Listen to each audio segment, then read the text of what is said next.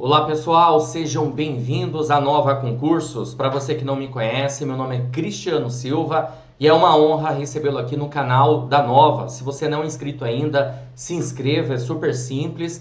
Basta clicar no botão vermelho abaixo desse vídeo e clicar também no sininho para que você possa receber todas as notificações aqui da Nova Concursos, ok? Bom, galera, eu tô aqui para falar a respeito do concurso que foi publicado aí do DEPEN, é isso aí. DEPEN é um concurso bem interessante é, cargo aí para agente federal de execução e também especialista, né? É, em execução, porém eu vou dar mais ênfase aqui ao cargo de agente federal de execução.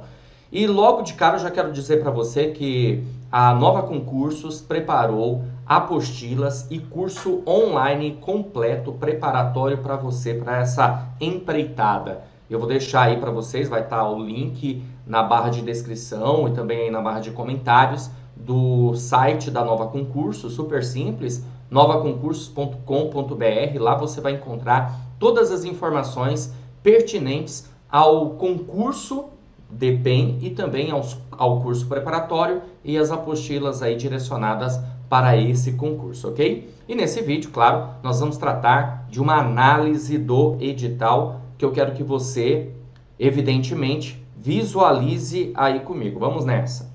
Olha só, galera, tô deixando aí para vocês também minhas redes sociais, tá? É, Facebook, Professor Cristiano Silva, é, Vencendo Concursos, YouTube e Instagram, arroba Vencendo Concursos. Então vamos lá para as nossas análises aqui. Primeira coisa que a gente precisa saber é o seguinte: o edital tem mais de 300 vagas, porém, para o cargo que eu mencionei para vocês que darei ênfase, né, que é o cargo de agente federal de execução, são 294 vagas no total, certo? A banca examinadora é a banca Sebrasp, para os mais concurseiros aí mais antigos, né? Nós conhecemos aí como CESP, o estilo certo e errado de resolver questões. E para você participar desse concurso para agente de execução federal, você precisa ter o requisito muito simples, que é ter o nível médio, o antigo segundo grau, tudo bem? E precisa ter também carteira nacional de habilitação, CNH, mas também bem tranquila, porque basta ter a categoria B, nesse caso, para que você tenha essa possibilidade, essa condição de prestar esse concurso. Então, esse é o requisito: nível médio e CNH na categoria B. 294 vagas no total, certo? Bom, são, qual é a descrição sumária das atividades? Você vai ter que exercer atividades de atendimento, vigilância, custódia, guarda, escolta, assistência e orientação de pessoas recolhidas aos estabelecimentos prisionais e de internamento federais integrantes da estrutura do Departamento Penitenciário Nacional do Ministério da Justiça e Segurança Pública, e também atividades de natureza técnica, administrativa e de apoio a elas relacionadas, conforme a Lei 10.693, a Lei 11.907 e é, ambas foram alteradas aí pela Lei 13.327 de 2016. E aqui nós temos a remuneração, tá, pessoal? Remuneração inicial do cargo, ó, R$ 6.030 concurso aí de nível médio, bem interessante, né? Sendo R$ 4.170,63, que é o vencimento básico, mas tem um acréscimo aqui de R$ 1.401,60, referente à gratificação de desempenho de atividade de agente federal de execução penal, tá bom? E temos aqui também mais 458 reais que é de auxílio alimentação. Então, somando-se todos esses valores, né, nós teremos aí uma remuneração inicial de R$ 6.030 com 23 centavos, conforme você pode observar aqui comigo, tá certo? Claro, é uma remuneração inicial. Vale lembrar que o DEPEN, ele tem aí um plano, um plano aí de carreira, de crescimento, de ascensão e obviamente a partir do momento que você esteja lá dentro, é claro que essa remuneração ela vai tendo ajustes de acordo com uma progressão, ok? Bom, o que mais nós temos que ver aqui, pessoal? Vamos lá? Olha só, os candidatos serão lotados na sede do DEPEN, a sede do DEPEN, claro, é em Brasília, ok? Ou em uma das cinco penitenciárias federais, localizadas na cidade de Brasília, Campo Grande, no Mato Grosso do Sul, Catanduvas, no Paraná, Mossoró, Rio Grande do Norte e Porto Velho, tudo bem? De acordo com o interesse e a necessidade da administração. Isso aqui é bem interessante, né? A gente observar o seguinte. Então temos aí todas essas vagas e percebemos que no caso fica bem clara essa informação que não está é, dizendo é, exatamente no edital quantas vagas serão para Brasília, quantas vagas serão para Catanduvas, quantas vagas serão para Mossoró ou Porto Velho, né, em Rondônia. Não está dizendo isso. Então, logo significa dizer o quê, pessoal? Que de acordo com a necessidade da administração, as pessoas serão lotadas nessas áreas, certo?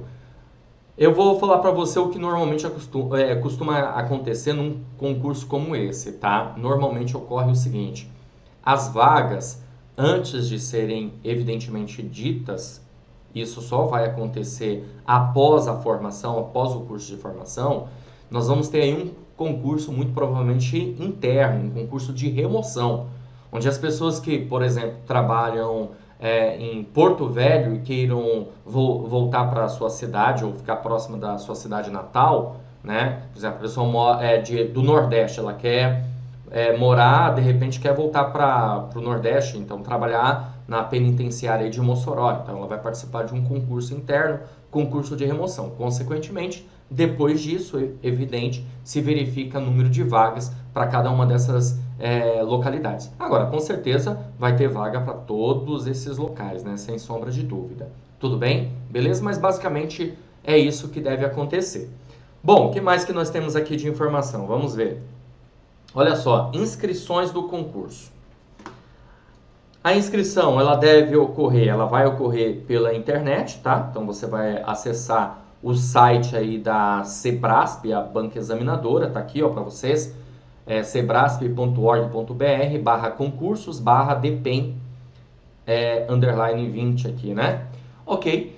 E você vai fazer essa inscrição a partir do dia 15 de maio de 2020 a 5 de junho de 2020, a partir das 10 horas do primeiro dia até as 18 horas do último dia. Consequentemente, né, você poderá pagar um dia após aí a sua inscrição é, para fazer parte aí do concurso. Agora, gente, é claro, né, não vai, pelo amor de Deus, deixar isso aqui para a última hora, né? Você não vai deixar, vai fazer a sua inscrição no dia 5 de junho, que você corre o risco de ficar sem conseguir fazer essa inscrição por conta de um congestionamento, algum problema que pode ter. Você tem um bom prazo aí, de 15 de maio a 5 de junho para fazer a sua inscrição. Tudo bem?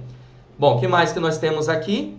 Ah, nós temos aqui também, olha só, as etapas, as etapas do concurso, beleza? Então vamos ver todas as etapas aqui do concurso. Temos uma chamada primeira etapa e uma segunda etapa, tudo bem? Só que dentro da primeira etapa, olha o que, que vai acontecer, galera. Nós temos provas objetivas P1, P2 e P3, tá bom? Que, é, na verdade, se subdivide da seguinte maneira: conhecimentos básicos, 30 itens, conhecimentos específicos, 50 itens e conhecimentos complementares, 40 itens, certo? Então, são 120 itens no total. Bom, vale lembrar o seguinte para vocês, tá bom? São 120 itens. Esses itens são itens certo ou errado que você vai ter que assinalar, ok? Por isso que nós temos essa quantidade bastante grande. É claro, é de caráter eliminatório e classificatório. Só que além desses itens, você também terá uma redação, uma prova discursiva, um texto dissertativo de até 30 linhas, conforme você está vendo aqui, chamada aí de P4, discursiva. Então isso é chamado de primeira etapa, está tudo dentro da primeira etapa. Só que além da prova, você vai ter também exame de aptidão física, avaliação de saúde, avaliação psicológica e investigação social. Essas etapas aqui são etapas eliminatórias, ok?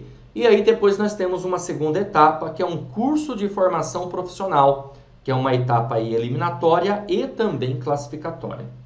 Legal? Então, ser claro, né, meu amigo, tem que estar dentro do número.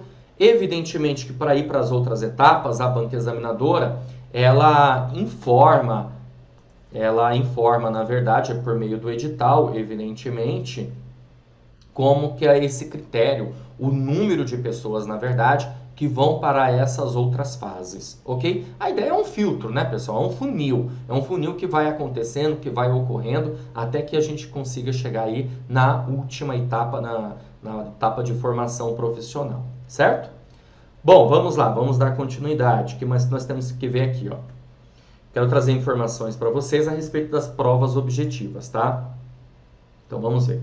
As provas objetivas e a prova discursiva para os cargos e áreas de especialista federal em assistência à execução penal terão duração de 4 horas e 30 minutos e serão aplicadas na data provável estabelecida no cronograma constante do anexo 1 deste edital no turno da manhã.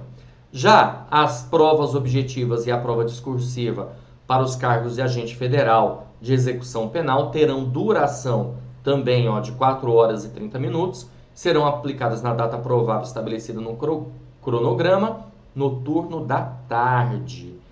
Isso significa dizer, galera, isso significa dizer que você pode, inclusive, prestar, fazer os para, para os dois cargos. Por quê? Porque uma prova vai ocorrer no período da manhã e a outra prova vai ocorrer no período da tarde. É complicado? Na minha opinião, é bastante. Por quê? Porque você pode ter um, uma, um cansaço muito grande, uma exaustão e depois se prejudicar na prova que você entende ser mais importante. Eu, sinceramente, as pessoas que têm nível superior, porque esse cargo de especialista em assistência à execução penal tem várias, é, vários cargos, na verdade, dentro dele, tá? É o cargo genérico, né? E tem um cargo específico, certo? E aí precisa ter uma formação é, de acordo com o que está sendo solicitado. Aí pode até ser que vale a pena, porque aí a pessoa vai fazer a prova no período da manhã, da manhã e aí à tarde ela faz naquela de, olha, vamos ver o que, que acontece. Agora, se o seu foco é agente de execução penal, né? Aí, meu amigo, eu vou falar uma coisa para você, agente federal de execução penal, eu vou dizer para você que vale mais a pena você focar só nesse, tem muitas vagas, vale a pena tá certo? Porque o a prova ocorrerá no período da tarde, tá bom? Vamos dar continuidade. Das provas objetivas. Informações que nós temos aqui? Vamos ver. As provas objetivas têm caráter eliminatório e classificatório, valerão 120 pontos. Isso significa dizer que cada item vale um ponto, tá? E abrangerão os objetos de avaliação constantes no item 22, o item 22 vai tratar do conteúdo programático, ok? Cada prova objetiva será constituída de itens para julgamento, agrupados por comandos que deverão ser respeitados. O julgamento de cada item será certo ou errado, de acordo com os comandos a que se refere o item. Haverá na folha de respostas para cada item dois campos de marcação. O campo designado com o código C que deverá ser preenchido pelo candidato caso julgue o item certo, e o campo designado com um código E, que deverá ser preenchido para o candidato que julgue o item errado, tá bom? Então, basicamente, né, o que, que acontece? Você tem aí uma afirmativa, a banca ela vai fazer isso, é uma afirmação, esse item é uma afirmação, e você vai ter que verificar se essa afirmação ela está certa ou se essa afirmação, pessoal, ela está errada. E aí, se baseando nisso, você vai fazer lá a sua anotação e passará, e passará essa informação para o, para o cartão de respostas definitivo, tá bom? E temos aqui mais uma informação, deixa eu só apagar aqui tudo, isso, que é o critério, né? Ó, as provas objetivas serão corrigidas por meio de processamento eletrônico, e aí tem o seguinte, a nota em cada item das provas objetivas feitas com base nas marcações da folha de resposta será igual a um ponto, caso a resposta do candidato esteja em concordância com o gabarito oficial definitivo das provas. E um ponto negativo caso a resposta do candidato esteja em discordância com o gabarito oficial definitivo das provas. E zero caso não haja marcação ou haja marcação dupla C ou E. Então, por exemplo, se a pessoa deixar de marcar, zero ponto. Se ela marcar, ela vai meio que anular aquela, aquela questão, né, aquele item, e aí zero ponto também. Então, bem interessante essa prova, né? Tem que tomar muito cuidado. Essa prova é um tipo de prova que você não pode sair chutando, tá? Por quê? Porque a cada erro você perde um ponto. É isso aí. Você pode sair zerado da prova até negativo, então tem que tomar muito cuidado. Tá bom? Então existem certas questões que se você ficar muito na dúvida mesmo, vale a pena você deixar em branco. Agora, é uma estratégia. Tem que tomar cuidado com essa estratégia, porque se você utilizar muito essa estratégia, você vai ficar com pouco ponto, e aí ferrou. Né? Então tem que levar isso tudo em consideração, ok? Bom lá, vamos dar continuidade. O que mais que nós temos aqui? Quero te mostrar a parte da prova objetiva, como que a banca examinadora, né, ela dividiu as matérias, tá certo? Então a gente tem aqui, ó, pessoal, conhecimentos básicos, bloco 1, língua portuguesa, ética, raciocínio lógico, informática e atualidades que vai servir para a discursiva, tá? Isso conhecimentos básicos. Aí nós temos conhecimentos específicos, bloco 2. Noções de direito constitucional, noções de direito administrativo, noções de direito penal, noções de direito processual penal, noções de direitos humanos e participação social e legislação especial. E temos aqui o bloco 3, conhecimentos complementares, execução penal e departamento penitenciário nacional, tá? Então essa é a parte da, da prova objetiva, que servirá também como base para a prova discursiva, tá? Então, muitas matérias você tem que começar o quanto antes. Dá tempo? Com certeza, né? Por quê? Porque a prova ela vai estar tá acontecendo aí é, no mês de setembro, conforme você viu aqui. Deixa eu até voltar, tá aqui, ó. Data da prova, eu passei muito rápido e não mostrei para vocês, mas tá aqui, ó. Data da prova, dia 6 de setembro de 2020. Então, consequentemente, dá tempo aí de você estudar até lá, tá? Nós estamos em, em maio, né? Eu tô gravando esse vídeo em maio, não sei se você está assistindo exatamente no dia que eu que nós divulgamos o, o vídeo, tudo bem? Mas se você tiver, ótimo, dá tempo de você estudar com toda certeza. Bom, prova discursiva. Para você passar para a prova discursiva, e ela tem um, uma pontuação aí de 20 pontos, né? Um texto dissertativo de até 30 linhas.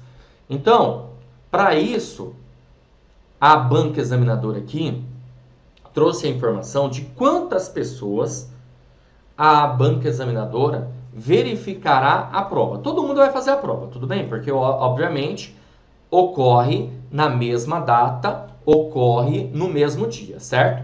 Agora, quantas pessoas estarão classificadas para que a banca examinadora possa, a bem da verdade, verificar a redação? Então, tá aqui essa informação que eu quero que você visualize aí comigo. Olha só. Para o cargo 1, que é o cargo de é, especialista federal em assistência e execução penal, área enfermagem, até o número 675 na ampla concorrência, tá? 180 para candidatos negros e 45 candidatos com deficiência. Até o 45º candidato com deficiência vai ser verificado. E aí o restante, ó, médico clínico 75, médico psiquiatra, odontologia, psicologia, serviço social e terapia ocupacional. Já para o cargo agente federal de execução penal, que é o, a nossa ênfase aqui, né, que é o cargo 8, serão, olha só, gente, 2.205 redações de ampla concorrência que serão verificadas, tudo bem? Candidatos negros 588 e candidato com deficiência 147, tá? Então, um número bastante expressivo. Então, isso significa dizer o quê, né? Trocando em miúdos. Que pode ser que a banca examinadora, aliás, que o concurso em si, né? O DEPEN aí, no decorrer do prazo de validade do concurso, chame mais pessoas, até porque todas que ficarem numa possibilidade de classificação habilitada, tudo bem? Se você tiver como habilitado nesse concurso, passou por todas as fases, você pode ser chamado posteriormente, ok? Então vamos ver aqui mais informações. Aí nós temos as outras fases, né, galera? Ó, exame de aptidão física, serão convocados para o exame de aptidão física todos os candidatos aprovados na prova discursiva. Então, todos os candidatos que passarem pela prova discursiva farão exame de aptidão física, tudo bem? Aí, claro, você tem que ver no edital, de uma maneira mais detalhada, o que, que a banca examinadora vai solicitar. Avaliação de saúde. Todos os candidatos que forem aprovados no exame de aptidão física. Por isso que eu falei para você que é um funil, tá bom? Depois, avaliação psicológica. Todos os candidatos aprovados aptos na avaliação de saúde, certo? Investigação social. Evidentemente, o, que os candidatos que foram estão aptos a chegar nessa fase aqui também, ok? Aqui tem uma informação bem importante, ó, a investigação social de caráter unicamente eliminatório será realizado pelo próprio DPEM, com apoio logístico do SEBRASP, visa avaliar se o candidato possui idoneidade moral, conduta ilibada, procedimento irrepreensível para o exercício das atribuições inerentes aos cargos. Tudo bem? O candidato será submetido à investigação social no decorrer de todo o concurso. Olha só que interessante, tá? E não, não somente numa uma fase, né? Mas todo o concurso, desde a inscrição até o ato de nomeação. Então, cuidado aí com o que você posta nas redes sociais, essa coisa toda, tá? Dos critérios de desempate na primeira etapa. E tem aqui um critério, né? tiver igual, idade igual ou superior a 60 anos.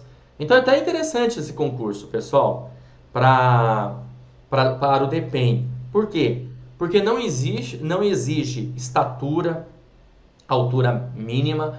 É, você vê que pessoas com idade igual ou superior podem participar, igual ou superior de 60 anos, podem participar do certame.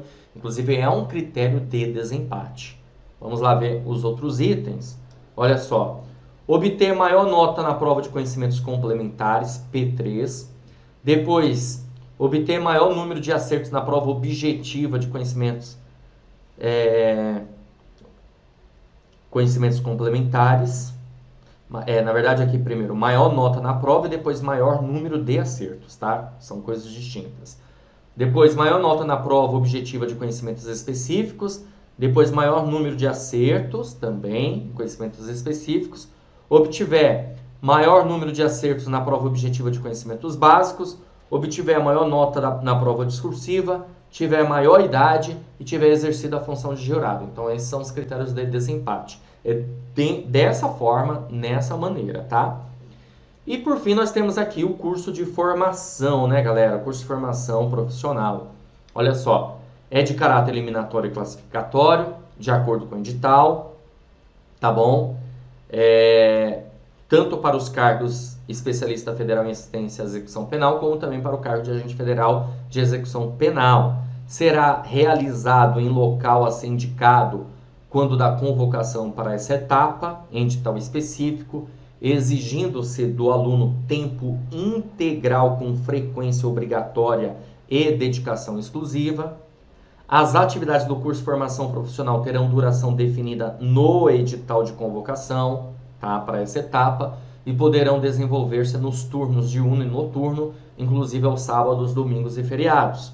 A critério do DEPEN, o candidato aprovado e classificado dentro do número de vagas existentes será convocado para participar do curso de formação profissional. É aquilo que eu comentei para vocês, que você pode ficar aí numa espécie de habilitado classificado para o concurso, numa formação aí de cadastro reserva e ser chamado de acordo com o prazo de validade do concurso. Então é bem interessante prestar também por esse motivo, né? Vagas vão abrindo, consequentemente você pode ser chamado. Tudo bem?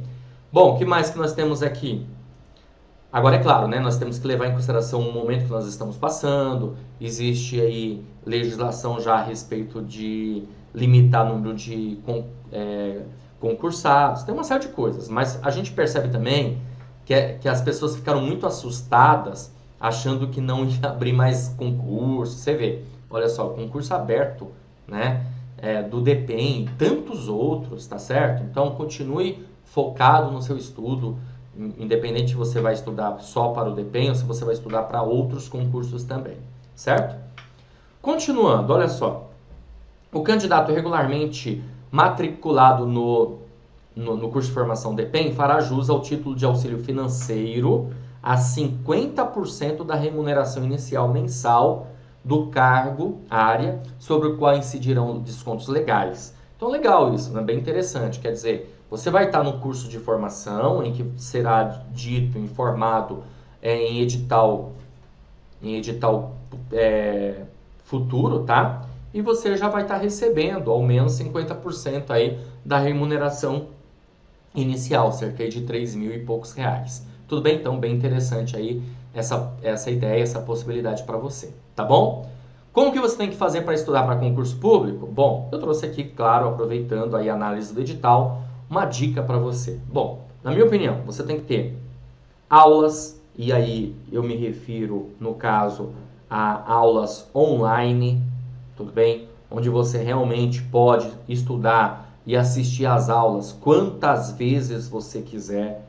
Os vídeos, nesse caso, vão te ajudar muito no entendimento de matérias, legislação, coisas que no nosso dia a dia são bem complicados de entender e por meio das aulas dos professores experientes você conseguirá a, compreender melhor. E claro, tem um material, né, um material aí em PDF ou um material impresso para que você possa mandar super bem também, porque é preciso ter esse material com questões comentadas, se possível, ok? E claro, meu amigo, não tem como você fugir disso. Ó, legislação, lei seca, tem que fazer leitura da lei, de todas as legislações. Então você tem que fazer um planejamento de estudo para isso, tudo bem? Rever a matéria estudada, ou seja, fazer revisões. É importante você criar um ciclo de estudo, tá certo? E resolver questões de provas anteriores, questões relacionadas aos temas, aos assuntos que você estudou até o presente momento, tá? Então isso, claro, é muito importante e com certeza absoluta vai te dar um gás para você realmente conseguir a sua aprovação. É possível estudar nesse período aí? É, vamos lá, só para você ah, esse vídeo tá sendo, foi gravado bem no comecinho de maio, ou seja, logo depois que o edital foi publicado, tá? E tá aí disponível para você. E você vai ter uma prova aí em setembro. Então nós temos, ó, maio, junho, julho, agosto, setembro, quatro meses para estudar. Dá tempo? Eu, sinceramente, acredito que sim. Agora, é claro, vai depender muito do tempo que você tem para estudar, fazer um plano de estudo adequado e ter um material também adequado para isso, tá certo? E nós aqui da Nova Concursos vamos ter, até quero mostrar aqui para vocês, ó, entrar aqui no site, ó, tô aqui no site da, da Nova, a Nova Concursos vai ter material, né, apostila aí no caso, tá? Olha só que legal, ó, curso, concurso DPEM, saiu de tal com 309 vagas no total, né? E aqui a gente tem várias informações, ó, tem apostila, vai ter apostila, vai ter curso, combos, ou seja, apostila, mais curso, mais livros é, de questões comentadas, vale muito a pena, tá? Eu vou entrar aqui no curso, só para ver como que tá aqui, o curso já da, da nova, tá certo? Ó, curso online independente, tá bom? Tem aqui as informações. Deixa eu entrar aqui, ó, só para você visualizar comigo, tá? Cara, olha que show! Tá aqui, já tem um curso preparatório, curso online independente, agente federal de execução penal, o curso tem liberação a partir do dia 8 de maio, porque é um curso em pré-venda. Gente, olha só a promoção que a Nova Concurso está fazendo. Curso de 250 reais por apenas, olha esse preço, 59 reais, apenas 59 reais. Olha que show isso aqui. E, pelo que eu estou vendo aqui, todos os cursos da, da Nova Concursos tá nesse preço aqui, nesse valor promocional de Dia das Mães, né? Então significa dizer que esse valor está garantido até o Dia das Mães, hein? até o Dia das Mães. Então corre para você adquirir o curso, gente. Com esse valor não tem nem o que pensar, né? Fala a verdade. 10 motivos aqui para você estudar pela nova, ó. Material autorizado de acordo com o edital, aulas ministradas por professores especializados, conteúdo minuciosamente selecionado, com ênfase nos assuntos mais importantes, 100% online. Você vai assistir onde você quiser, pelo computador, tablet, smartphone, acesso ilimitado, assista quantas vezes quiser. Vídeo aulas com altíssimo padrão de gravação. Você pode acelerar o vídeo em até duas vezes. Mais de 10 anos preparando, compra 100% segura, ó. Então tá aí para você, tá? Então é bem legal esse valor, mas fique de olho porque o, deve aparecer alguns combos aí também para vocês relacionados, né, ao curso online do DEPEN, ok? Que eu tenho certeza absoluta que valerá muito a pena você adquirir não só o curso online, mas adquirir, por exemplo, material é, em PDF, uma apostila com todas as matérias, um livro de questões comentadas da banca Sebrasp. Então isso com certeza vai te fazer você ir com certeza absoluta muito mais longe, né? Chegar aí a, alcançar o seu objetivo, que é a aprovação no concurso. Tá certo, galera? Então vou ficando por aqui. Um grande abraço para vocês, que vocês comecem a estudar o quanto antes e claro, eu espero que esse, esse vídeo aqui, essa análise do edital, tenha ajudado, contribuído para melhor entendimento do edital. Claro que não dá para ver tudo, mas uma, uma boa parte aqui foi verificado, foi dito, foi visto, tá certo? E, ó, comece a estudar o quanto antes, adquira essa promoção super mega especial aí da Nova Concursos, que com certeza você estará muito bem preparado, tá bom? Valeu, grande abraço a todos e até a próxima oportunidade.